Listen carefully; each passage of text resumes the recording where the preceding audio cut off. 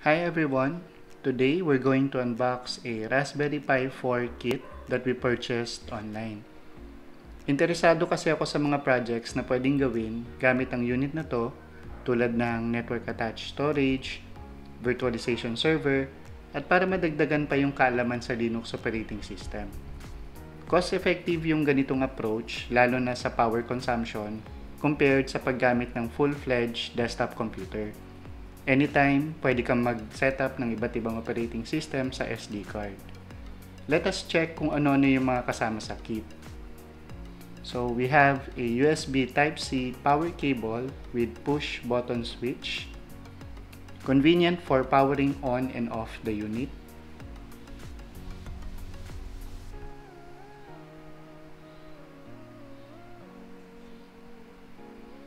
A micro HDMI to HDMI cable for connecting our Raspberry Pi to a monitor.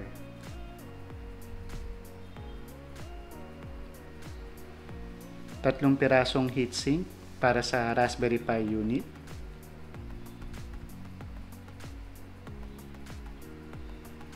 A USB card reader for SD and micro SD card.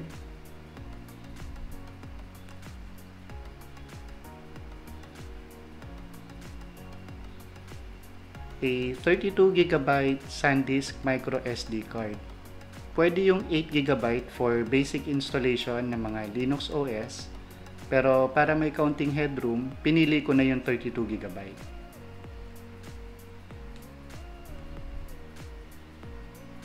A 5.1 volt 3 amp USB power adapter. Mas mataas ng kaunti yung power requirement ng Raspberry Pi 4 kaya kung may older version ka ng Raspberry Pi like 2 or 3, hindi sapat yung kasamang power adapter nun para dito. Lalo na kung magkoconnect ka ng USB devices sa Raspberry Pi like external HDD or SSD.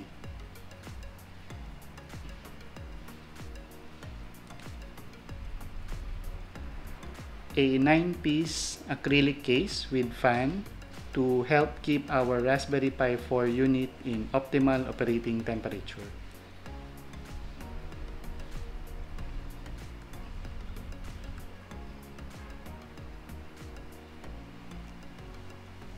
And finally, the Raspberry Pi 4 Model B 4GB single board computer.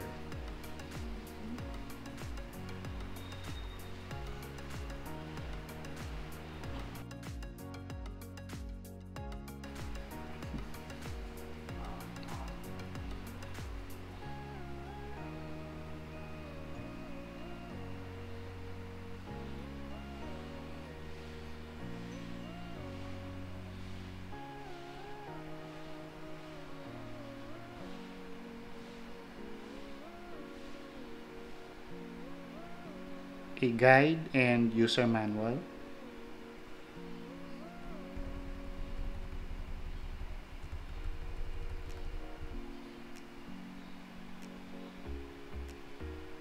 And here is the overview of all the items that came with the kit.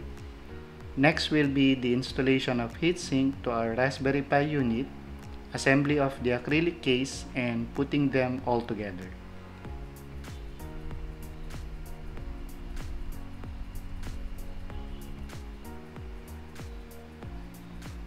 Alright, may tatlong component sa unit ang lalagyan natin ng heatsink. Ito yung CPU, USB controller chip, at memory.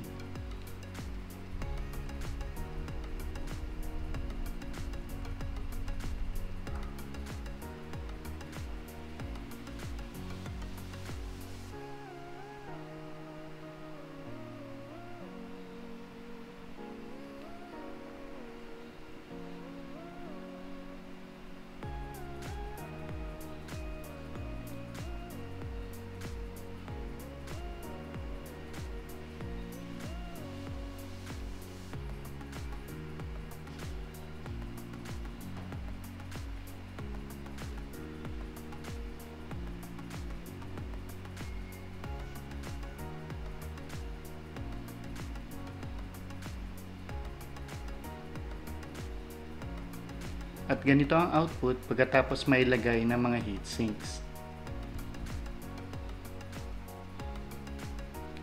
Sa assembly naman na acrylic case, gagamit tayo ng standard Phillips head screwdriver. Makakatulong din ang cutter para sa pagtanggal ng plastic at paper cover sa mga acrylic parts later.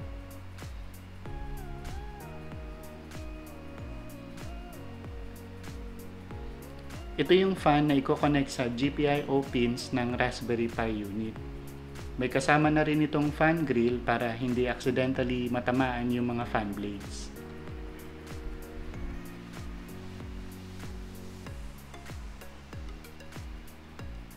Kailangan muna natin tanggalin yung apat na screw para ma-access lahat ng parts ng acrylic case at matanggal yung mga plastic and paper cover.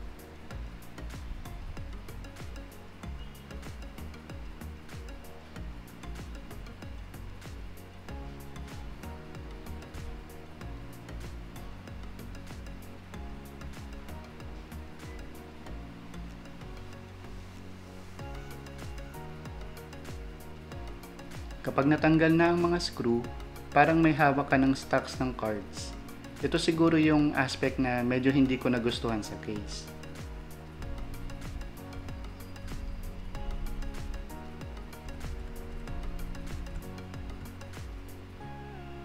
Both sides of each stack ng acrylic case is may plastic and paper cover.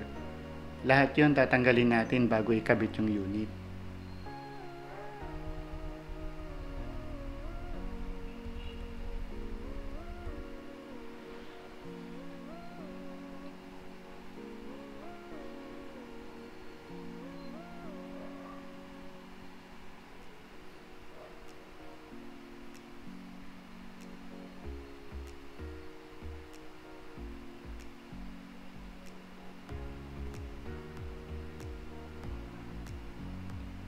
Dito ako medyo natagalan.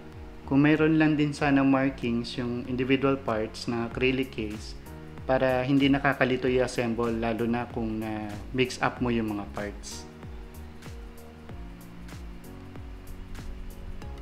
A few moments later.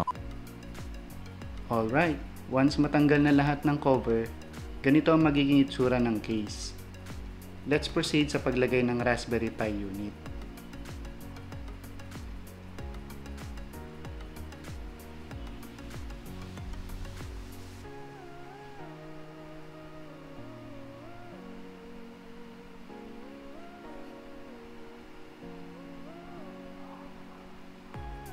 Kailangan i-align yung area kung nasa ng micro SD card slot ng unit sa case.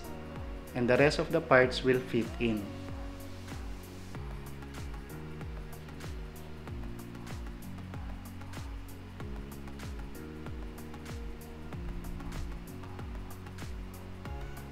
Next is to install the fan and the fan grill.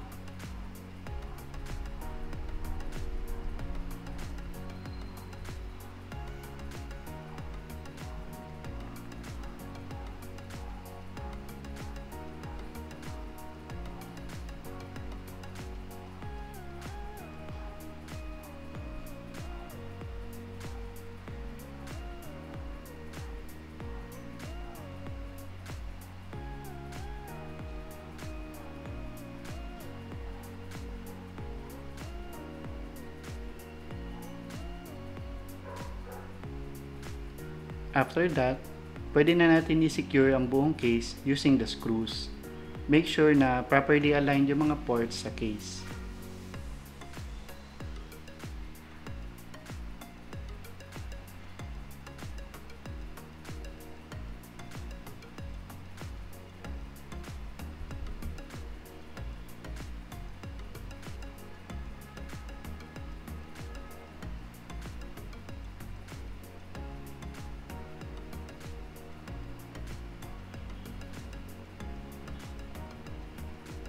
In this recording, nagkamali ako ng pin sa GPIO kung saan na-connect yung power para sa fan.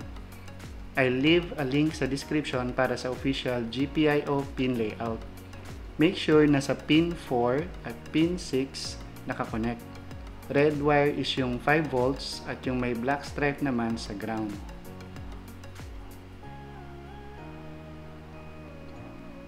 And this is the final output. Nasubukan ko na rin lahat ng mga accessories and they are working properly. Medyo malakas lang din yung fan at audible siya even when idle. Gagawa ko ng mga video series para sa mga projects using this kit. You may also comment below for your suggestions. Thanks for watching!